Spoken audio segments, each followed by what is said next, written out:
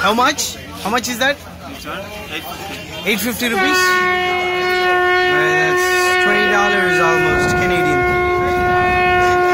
Almost Canadian. $12 US. Um,